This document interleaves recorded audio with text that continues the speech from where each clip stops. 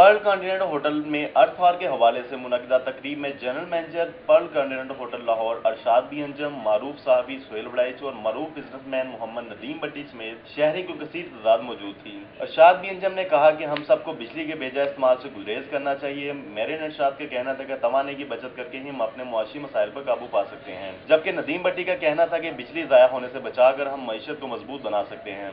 कितनी क्राइसिस से गुजर रहा है। एक मैसेज है और बच्चों के लिए मैसेज है कौम के लिए मैसेज है कि हमें एनर्जी को सेव करना चाहिए इलेक्ट्रिसिटी को सेव करना चाहिए। जैसे हमने आप जो कैंडल लाइट को ऑफ़ करके हमने लाइट को प्रिक्योर सिक्योर करने की कोशिश की हमारा ऑब्जेक्टिव होना चाहिए कि हम लाइट को सिक्योर करके इसको प्रिक्योर करें। अगर एक घंटा की बिजली सारे लोग सेव करें तो इसमें हमारा ही फ़ायदा है।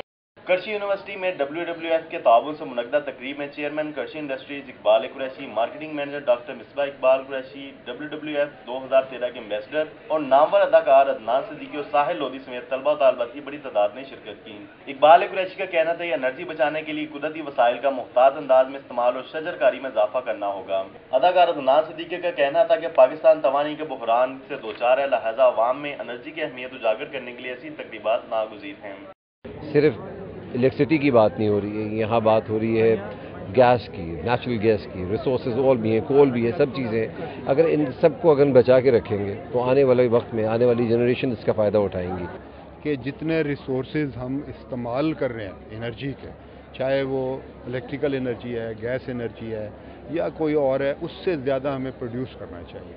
उसके लिए हम प्लांटेशन कर रहे हैं, दरख्त लगा रहे हैं। अच्छा इनिशिएटिव है एनर्जी सेव करने का, क्योंकि Pakistan major energy crisis face कर रहा है और आई थिंक ऐसे इवेंट्स और होने चाहिए।